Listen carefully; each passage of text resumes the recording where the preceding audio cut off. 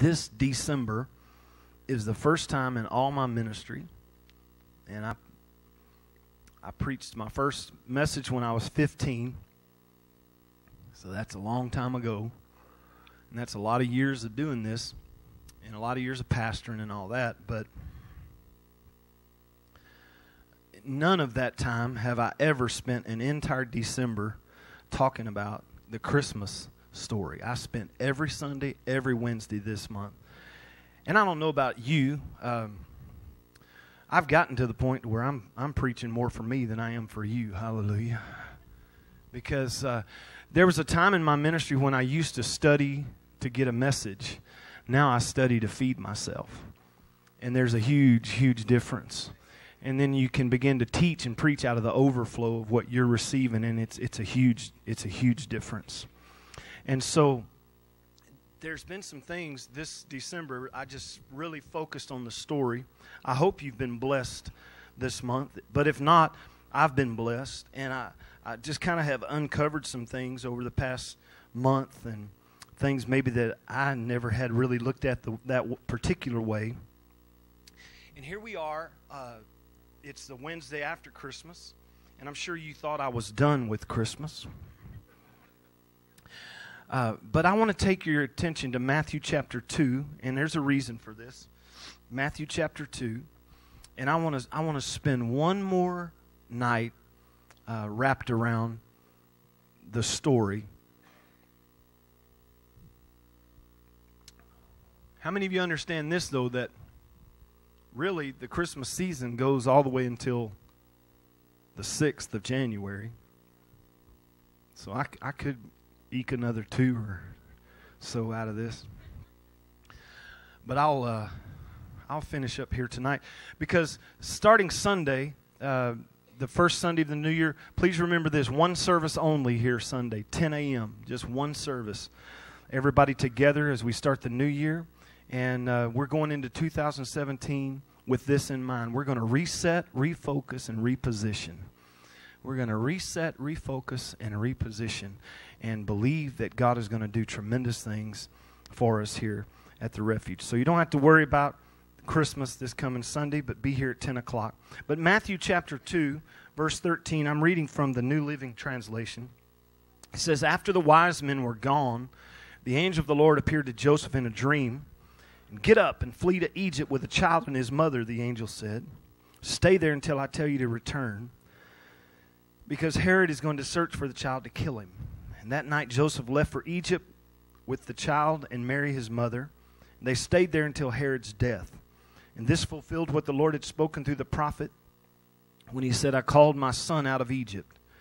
Herod was furious when he realized that the wise men had outwitted him, sent soldiers to kill all the boys in and around Bethlehem who were two years old and under, based on the wise men's report of the star's first appearance. Herod's brutal action fulfilled what God had spoken through the prophet Jeremiah when he said, A cry was heard in Ramah, weeping in great mourning. Rachel weeps for her children, refusing to be comforted, for they are dead.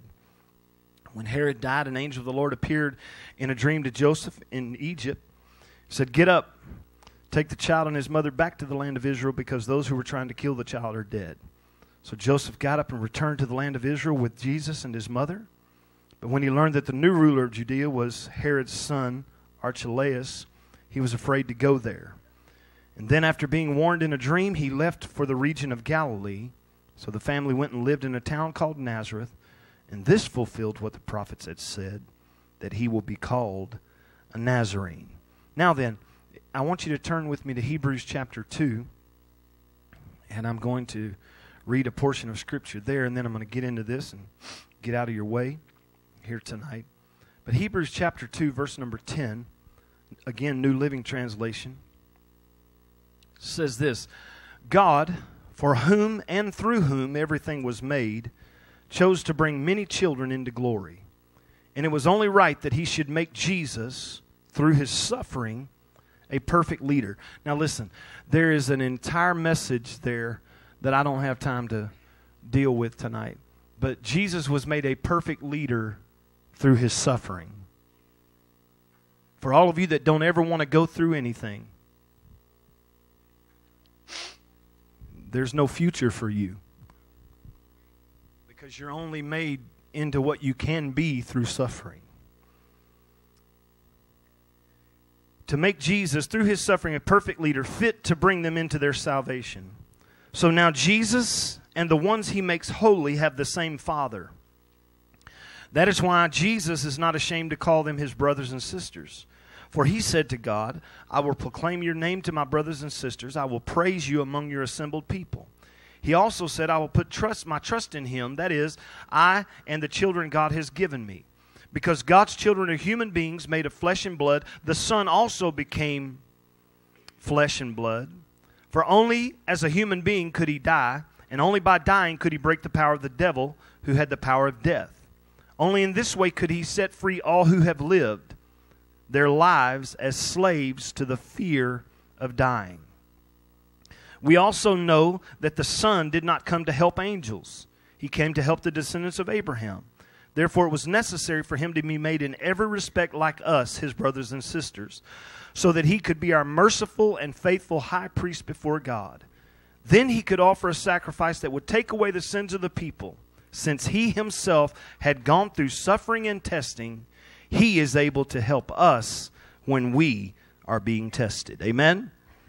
I read a story recently, and I'm just going to title this tonight The Aftermath of Christmas.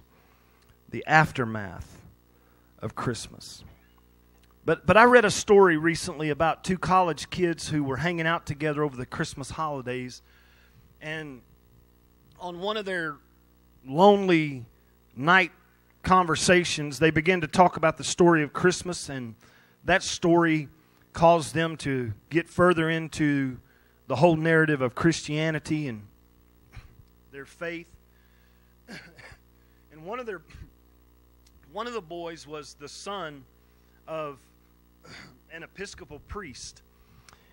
And that particular boy had spent most of his life running from what his father preached and taught and lived out. He, he spent his, his life trying to distance himself from anything that had to do with what he considered his father's faith.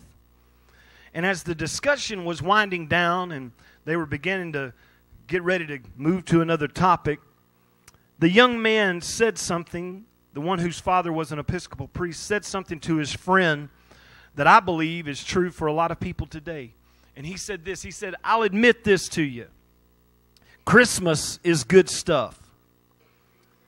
This special baby being born who's going to make things better and people coming together to celebrate and peace on earth and goodwill to all. I can get behind all of that. But then he smiled and he leaned forward and he said in almost a whisper, to his friend, he said, But once that baby starts growing, that's where I start having problems. I believe that that is true for a lot of people in and around Christianity today.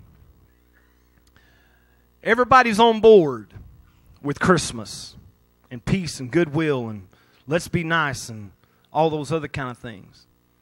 But it doesn't take long for that spirit to pass. In fact, it passed for somebody today. I just sent out a, just a little on our text thing. I just sent out a little nice message. Hey, just it's been a week since we've had church. Just want to remind everybody uh, tonight's the you know come on back tonight. I didn't think I said anything offensive. I, uh, many of you got the message. I, I didn't think I said anything offensive, and and I got a message back, and it started out with uh, the letter F and, and another letter and a few more letters and and then and then told me to take my God and I knew what I could do with my God and and man just went into this tirade. And I'm connected to this server where all the messages we get go to this service that provides this text thing for us. And I'm thinking, oh man, how do I delete that before they see that and give me a call and wonder? And uh, and and and uh, I was trying to be really nice, and I, I because it's got a deal in there where you can. We're not supposed to get into a lot of conversation with people, but you can have a conversation. And I, I got in there a little bit, and I, I just I just apologized and said, "Hey, didn't mean to offend you. We'll we'll take you off our list." And man, then, then it came back, and it was even it was even worse. I got called a few names I hadn't heard in a few years. and uh, and I thought, man, isn't that crazy? Just a few days ago, everybody's hugging and smiling and peace on earth and goodwill to all men.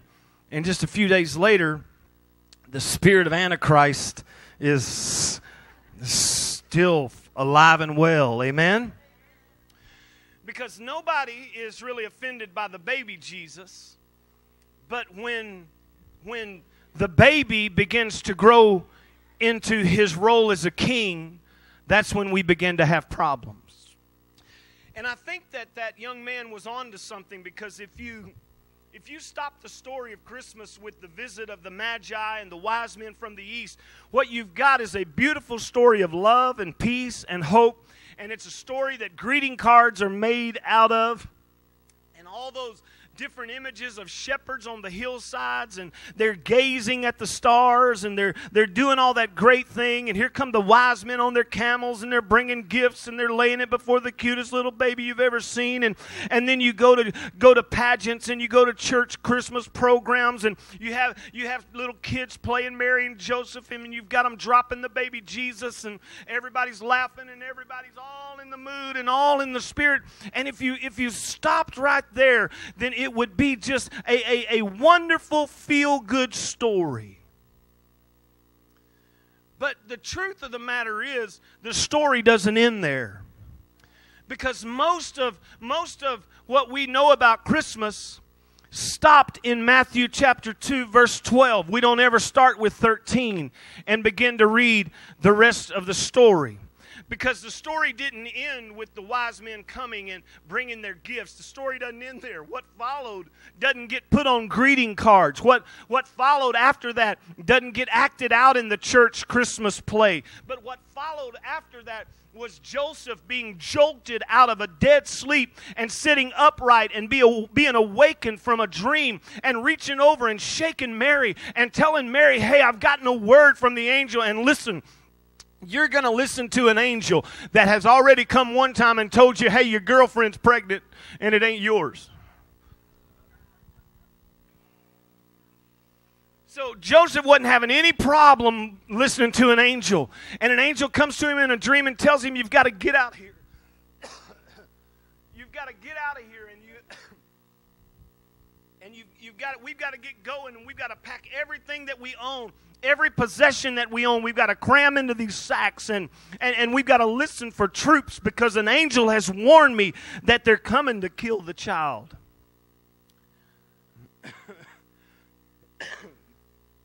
now, I want to preach, but uh, I'm having some health issues, so y'all just might have to listen while I stutter around for a minute.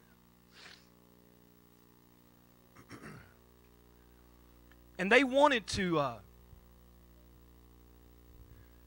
they wanted the story to end there, but that's not where it ended. And you can feel the panic now as Mary's bent over the baby, desperately trying to keep him quiet as Joseph leads the donkey that's holding Mary and the baby out of the city. And both Mary and Joseph are looking over their shoulder. And not long after them, here come if you were to be in Bethlehem at that time, you would have been in there, and what you would have seen would have been soldiers coming with, with, with torches and swords and spears, and they were kicking doors open in Bethlehem, and they were taking every male child under the age of two years old, and they were indiscriminately killing and destroying every male child under two years old. That's what happened in the rest of the story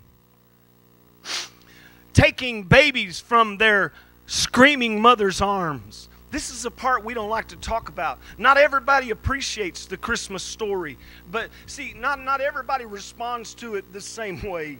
Not everybody responds to the hopes and the promises that come with the Christmas story with joy. If you if you were to go back and, and look at how Herod responded to the, you know, we were in here Christmas Eve night and it was beautiful and candlelight and we were singing Silent Night and we were singing Go Tell It on the Mountain and Oh Holy Night and man, it was you could feel the love of God in this room and people were with their families and, and it was wonderful to be in here and it was wonderful to be in that presence. But if, if we could have just kind of gone back to the night that Jesus actually born. I'm telling you, while shepherds were, were trembling in, in, in, in, in faithful fear of, of what was being told to them, and while wise men were making a trek, and while Joseph and Mary were, were in awe of what had just happened, Herod wasn't near as excited about what was going on. Herod, in a very snake in the grass kind of way, knows. Here, why? Listen to me. Why? Why would Herod say that every child under two needed to be destroyed? Go back with me for just a minute. It wasn't all the scholars and stuff. When the wise men came asking for directions to Bethlehem, it wasn't the scholars, the Bible scholars. It wasn't the Pharisees, Sadducees, the Essenes, or any of the rest of them, the Zealots. It wasn't any of those guys who were alert enough to wonder, hey, why are wise men coming and asking for the direction to Bethlehem? None of those guys were alert enough to even be paying attention that these guys are asking directions to go see a baby born in Bethlehem, and we've been given promises that a baby was going to be born in Bethlehem. Do you know until Jesus was born, Herod had made himself and given himself the title King of the Jews? He had given himself the title King of the Jews, and it was Herod who took notice when the wise men asked for directions to Bethlehem.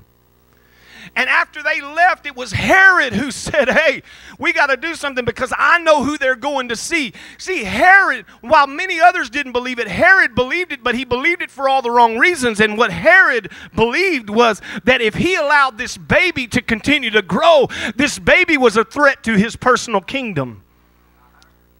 I'm trying to go somewhere. Are you still with me? He was a threat to Herod's personal kingdom, and, and Herod knew that if this baby starts to grow up, I'm going to have real problems. And Herod knows that there are very effective ways for solving problems before they start. Herod was very skilled at royal politics, he was skilled at all of that. And so he put the order out because if this baby grows, I'm going to have a problem on my hands. I'm going to have a problem in our world if this baby, because I know what just happened in Bethlehem. And so he goes and has all these children, or gives the order to have all these children killed. And a lot of us can even go comfortably that far into the story. I mean, because he tells the wise men, you know, he once he figures out that they have uh, gotten the skinny on him, so to speak, he told them, Come back and tell me where you found him. Remember that part, Hal? Come back and tell me where you found him. And, and man, they listened to the angel too because the angel told them, Hey, Herod's out to kill the baby. Go home a different way than you came. And the wise men listened to the voice of God and went home a different way. And Herod realized that they had, they had circumvented his efforts to, to get information, and, and they went home a different way. And a lot of us, you know, we could stop the story even right there because, oh, look at there. The, the wise men didn't, didn't bow to political pressure. They, they went home a different way. They got wise to what Herod was doing. They, they, they went a different route to home. That'd be a great ending to the story there. The wicked king sitting in his palace waiting to kill the Christ child and finally realizing too late that he's been duped and won't be able to find Jesus. The wise men gets away. Jesus gets away. Everybody's okay. Let's close the book. That's the end of the story. But that isn't what happens because the story keeps going. And since he can't eliminate the actual threat, Jesus, he takes the next step and he eliminates all the potential threats and he slaughters every male child in and around Bethlehem under the age of two years old. For Herod, I'm going somewhere, just stay with me. But for Herod, It's an obvious choice. He's been challenged. He's been made to look like a fool by those wise men. He has to show the Judeans who he rules over, who's still in charge. he has to keep his grip on the throne strong. And so for Herod, Herod doesn't even view it really as an atrocity against children. Herod just views it as a political move.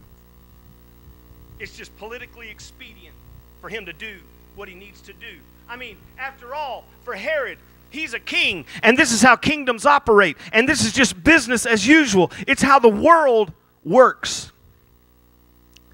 And yet, it's an ugly, ugly, ugly story. And there's a lot of people that want to take it out of the Christmas story. You hardly ever hear this really talked about around Christmas time. In fact, there are no Christmas carols written about this part of the story. Designers and, and, and, and programmers and producers never work this into their pageants and, or onto their greeting cards.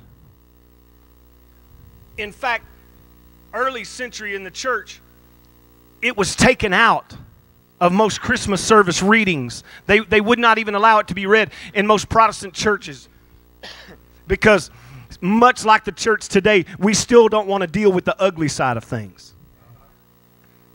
We're comfortable with cosmetic Christianity.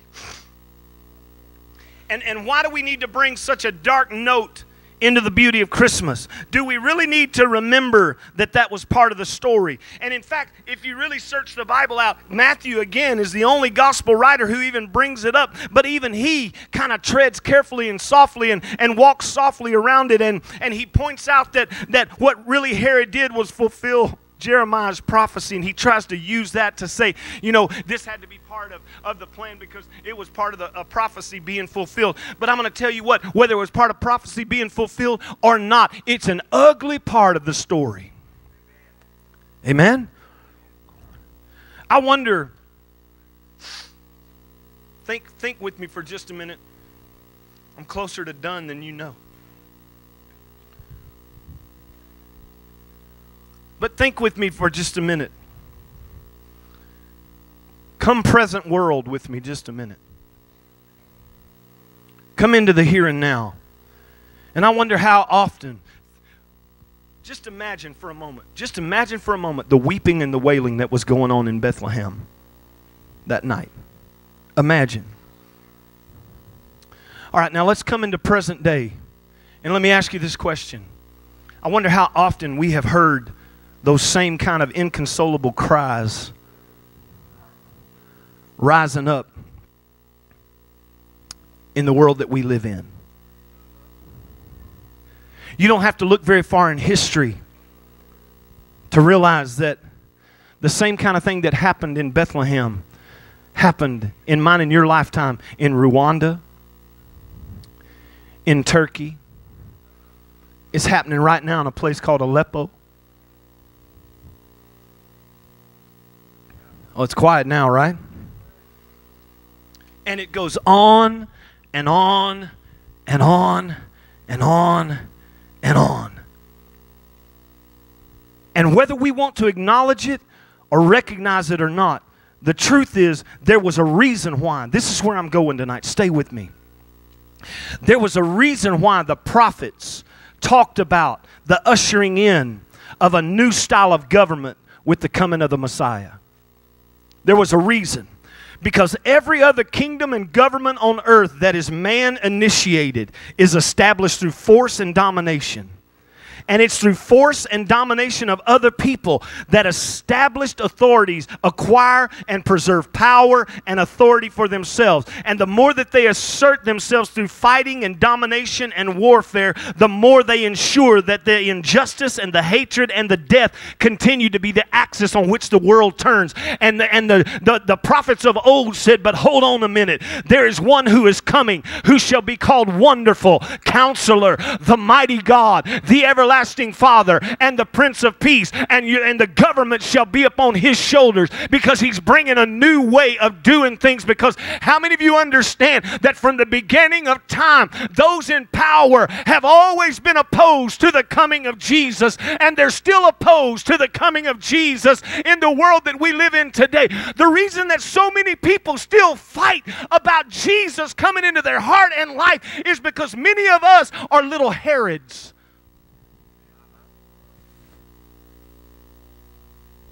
We don't want to give up control of our own kingdom. And I don't have a problem with baby Jesus. But when that baby begins to grow, we're going to have some problems. There are people that come to this church week in and week out. Yeehaw. Everybody's happy tonight. Listen, there are people who come here week in and week out who are resistant to the message of the gospel of Jesus Christ. They don't appear to be resistant on the outside, but inwardly they are resistant to the message because, the, listen, the coming of Jesus was an incarnation. It was God being embodied into a filthy world. And God not coming to say, I'm taking sides. God coming to say, I'm taking over. God coming to say, I'm establishing a new thing. God saying, I'm creating something brand new. It was God saying, Hey, you guys haven't been able to do it. I'm coming to show you a new way. It's the same way in my heart and in your heart. Jesus coming in is an incarnation of God coming into you and coming into me. But I have to let Him rule in me if I want His ways. Too many of us don't want to let Him rule. I want to rule. Want things done my way. Want to live for God on my terms. Want things to go on my terms. I say I trust God, but I keep trying to tell him how to handle his business. Come on, somebody. Preaching better than you're acting. Hallelujah. Am I, am I helping anybody? Probably not, but I'm helping me. Hallelujah. I, I, think, I think way too many of us who profess to be Christians live way too deep in our emotions and feelings when it comes to the practice of our faith. Someone has convinced us that if we're Christians, we shouldn't be offended every time, or we should be offended every time somebody doesn't believe like we believe, practice what we practice, stand for what we stand for. And so every time somebody says anything about Christianity, we all get our panties in a bunch. And we're offended. Man, when Christianity came into the world in the form of Christ, there was slaughter happening. Mary and Joseph didn't stand on the corner and point fingers at every Anybody who was after them, they obeyed the voice of God, got on a donkey, and got out of there. Come on, somebody. Followed the voice, went, went where God was telling them to go because they knew God had a plan for that child. God had a They didn't stand there wasting time protesting and demonstrating and, and doing all the other stuff that we want to do in the modern world that we live in. We are way too offended as Christian people. So they make fun of us. So what?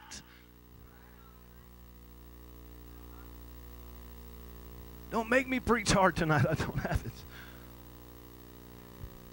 So they laugh at things we do. So what?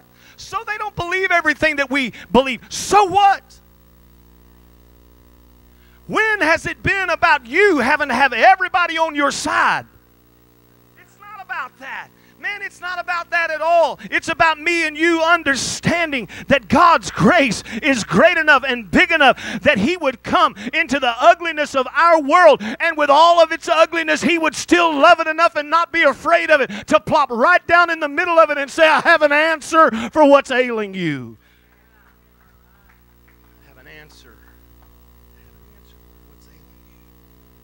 I know that what happened at Christmas and in the aftermath of the embodiment of God in Christ, I understand that it's not just simply a peaceful, joyful, beautiful event to be celebrated once a year, but it's more than a generic hope for peace on earth and goodwill towards all men. And it's more than just a time for a temporary truce between fighting families and fighting churches and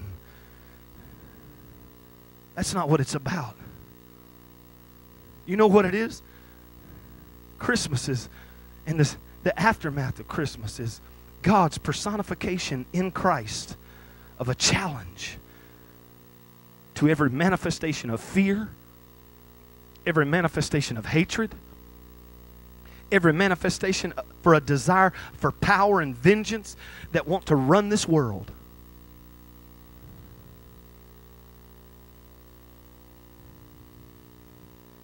I think sometimes when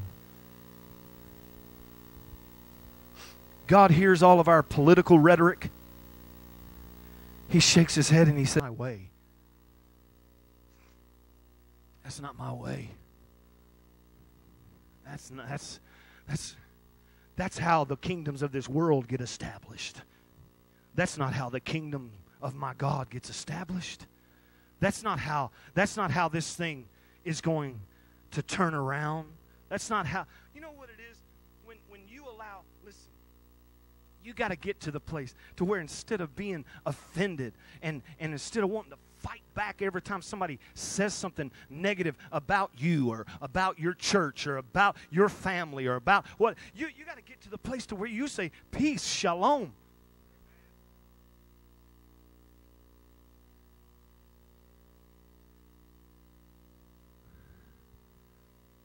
Because when, when you get fired up, you get pulled into the fray. And when you get pulled into the fray, you get pulled into that aftermath, that bloody aftermath of Christmas. Am I making any sense? I feel like I'm walking in mud, but I'm, I'm trying to get there. What I'm trying to tell you is there's a better way. There's a better way.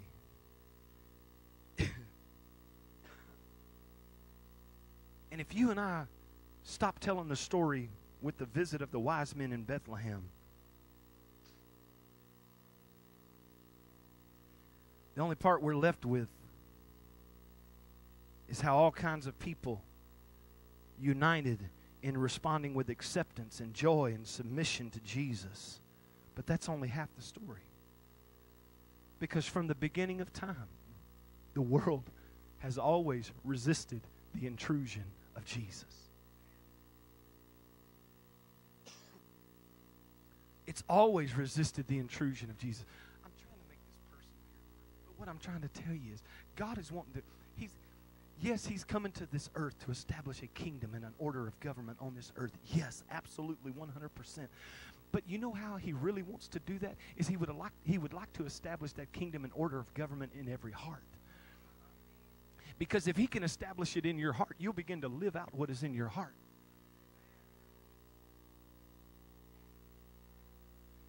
people ask the question all the time why do bad things happen to good people? Or why do bad things happen in the world? You know you know why all the hell and havoc is happening in this world? Because the kingdoms of the world are still ruling the hearts of men and not the kingdom of god. And people resist the rule of the kingdom of God. Because to resist the rule of the kingdom of God, like, like if, if, if I accept the kingdom of God, it means I might not be able to slap you every time I want to slap you. How? It's a good thing. See, on your end, that's a good thing. Right? It, it means I might not be able to respond to everybody the way I want to respond to them all the time. It means sometimes, if I'm going to allow the kingdom to be built in my life, it means I might have to think before I speak. It means I might have to be accountable for what I do, for what I say. And therefore, I walk more softly and more gingerly and gently because I understand that with everything I do, it carries weight. And I'm not just connected to one or two people, I'm connected everywhere. And so I, I have to understand that I'm not just out here on an island and the kingdom of God living and breathing in my life and coming to pass in my heart and in my life and in my mind. That's what He wants to bring to pass in the earth, but it has to start in my heart. It has to start right here in my heart. I read Hebrews to you, and I'm closing, but I, I read Hebrews to you because Jesus didn't get to stay in a manger. Jesus didn't get to continue sleeping peacefully and just live the rest of his life accepting gifts and praises. But the writer of Hebrews reminded us that Jesus, as a true human being made in flesh, in the middle of an ugly real world, think about this. Think, think about, just think about this. I mean, if you ever just like stop and think about stuff, some of the stuff we're so sure we have an opinion about. Do you realize that Jesus started his life as a refugee?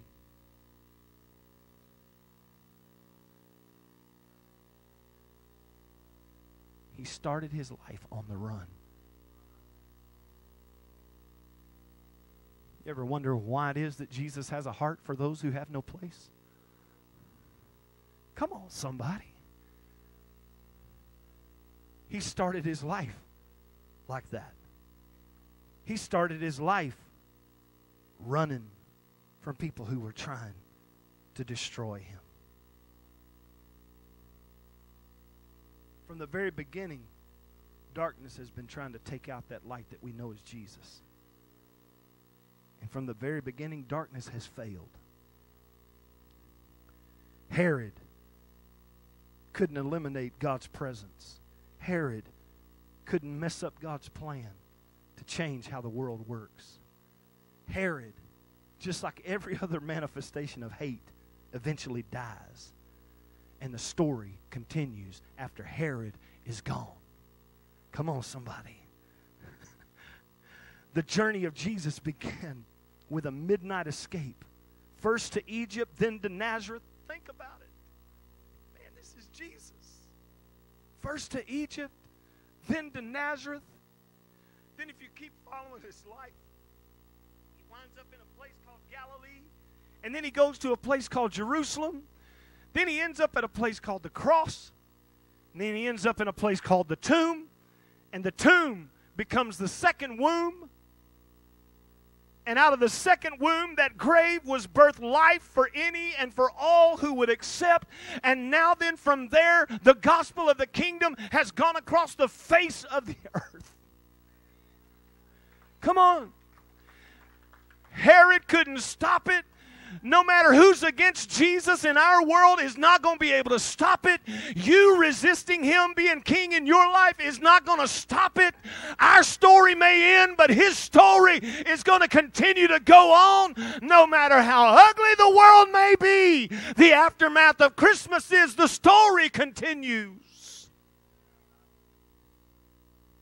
Because he is greater than all of that.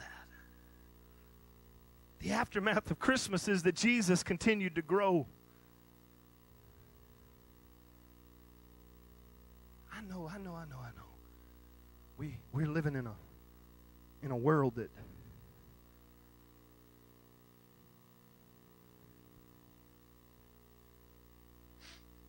often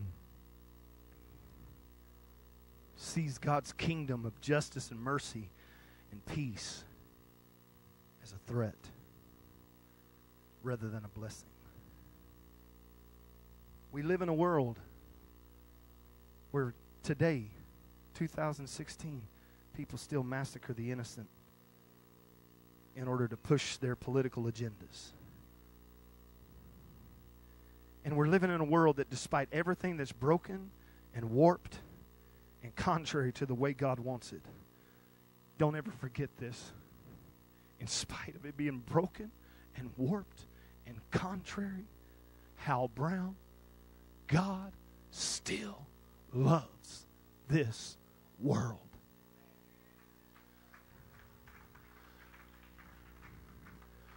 You may not love it, But he still loves this world.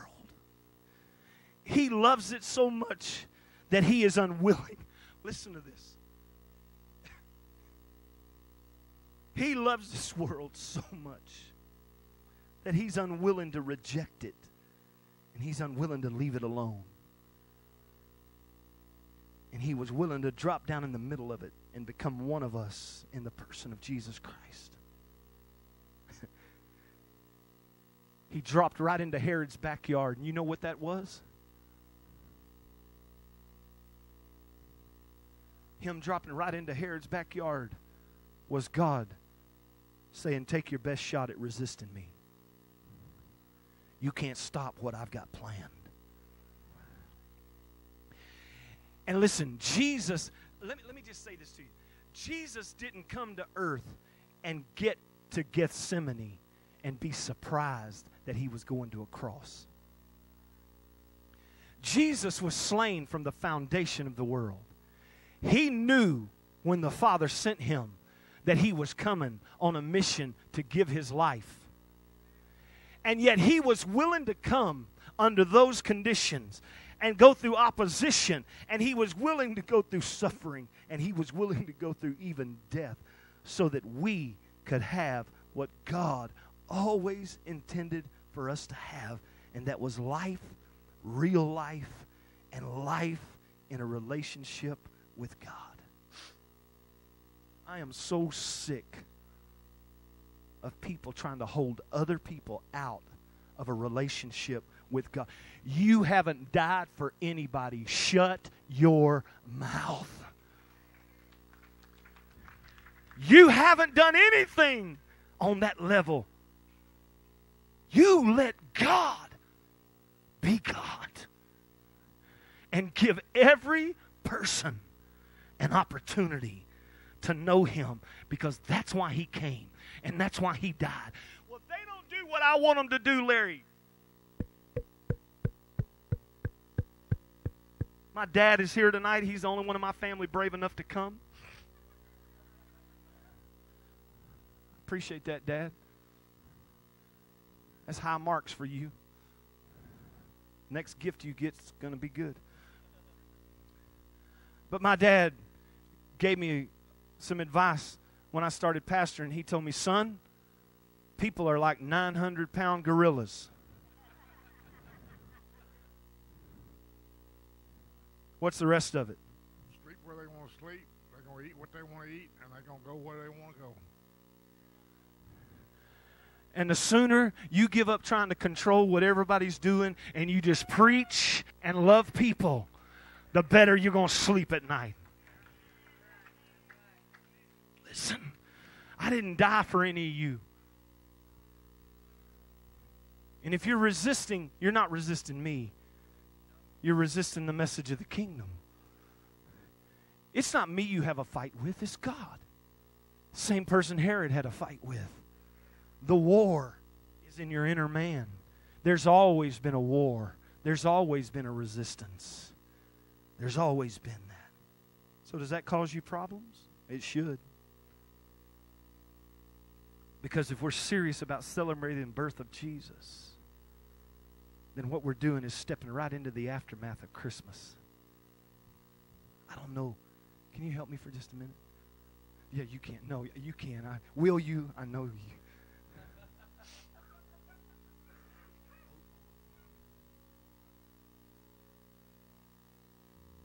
I know it's Christmas is over.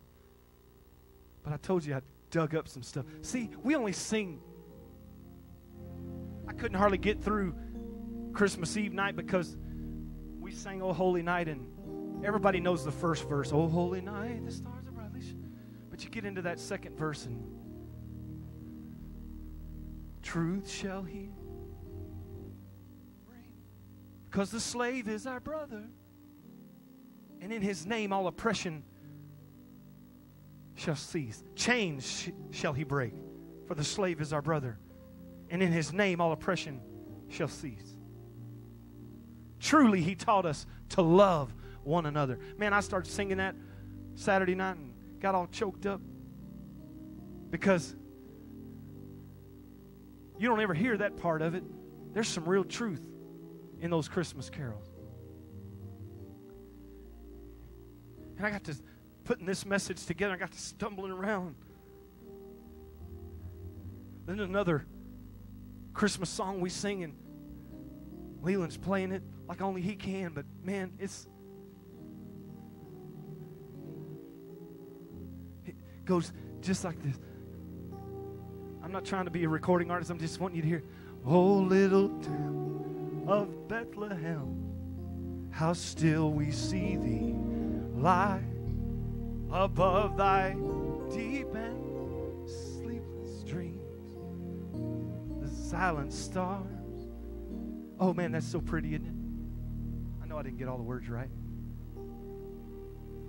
but it's pretty, and that's what we sing, and that's that's the song. That's the part we sing. But I got to thinking about the aftermath of Christmas and what the aftermath of Christmas means. It means that I've got to let the king come. He didn't stay a baby, he grew. He came here to become a king. And if I'm really going to allow the story to have the whole effect, I got to sing verse 3 of O Little Town of Bethlehem. I didn't even know it had a verse 3.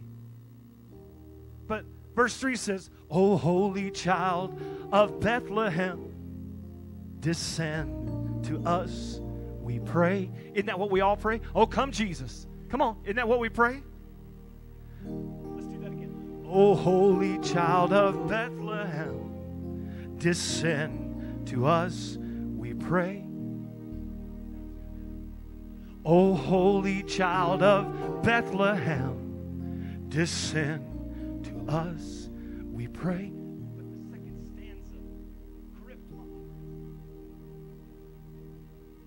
Because I realize that to sing, O little town of Bethlehem, I have to align with the second stanza. And the second stanza, O holy child of Bethlehem, descend to us, we pray. Cast out our sin and enter in. Be born in us today. You know what you're praying? Do you realize what you're praying? What you're telling him is when you're inviting him in, you're saying, I'm, I'm, I'm tired of governing my own life.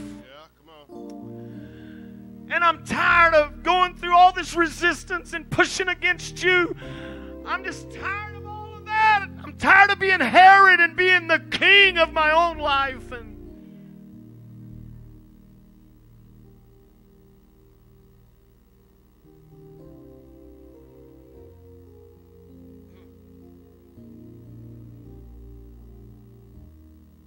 O holy child of Bethlehem, descend to us, we pray. Cast out our sin and enter in. Be born in us today. We hear the Christmas angels, the great glad tidings tell. Oh, come to us, abide with us, our Lord Emmanuel. I don't know if I've done very good tonight. No, no, no, that's not what I'm asking. No, no. I'm wanting to get this to somebody.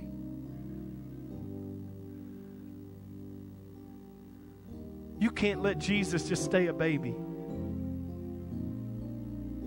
We're praying for God to be embodied in us, to transform us into Christ's eyes and ears and hands and feet so that we can work in this world. And there are some of you sitting in here right now who want to use every excuse. You've been hurt in 2016, 2014, 2013, 2000. And I'm going to tell you what if Jesus doesn't come get us, you're going to get hurt in 2017. Let me be a prophet. You're going to get hurt. You're using every excuse. Well, man, so and so's done this and said this about me. So and so did this. I don't like what the preacher did over here. I don't like what the preacher did over there. You're allowing all that junk, all that junk, all that junk, and it's piling up in front of you. And you got to understand this that God knows the pain that you've gone through, He knows the difficulties, He knows what it costs for you to be here right now. But the thing that grieves God more than anything else is you've gone through all that and you haven't claimed the things that He wanted you to claim while you were there. You went through all of it, but you didn't find Him in any of it. And you've become bitter and resentful, and you're affecting everybody around you. You went through all of that and didn't hold on to God.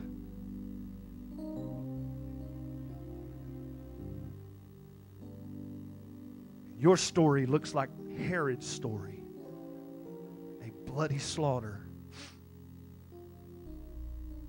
When really, all you have to do is give up tonight and say, I want you to be the king of my life. And he'll gladly take rulership. I want you to stand with me. I know it's goofy, Leland, man. I know it. We shouldn't be singing, Oh, oh, little town of Bethlehem, four days after Christmas.